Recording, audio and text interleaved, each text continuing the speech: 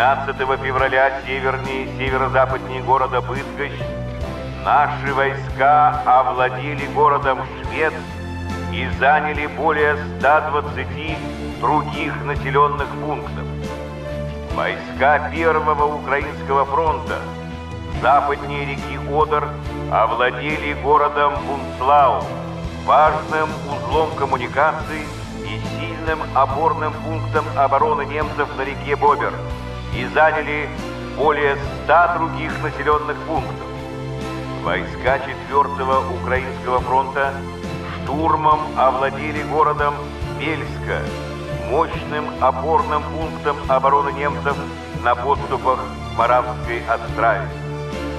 В Будапеште наши войска, склонив сопротивление противника в западной части города, заняли более 200 кварталов и к исходу дня завершили бои по ликвидации остатков окруженной группировки противника.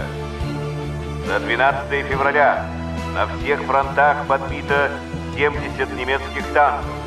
В воздушных боях сбито 12 самолетов противника.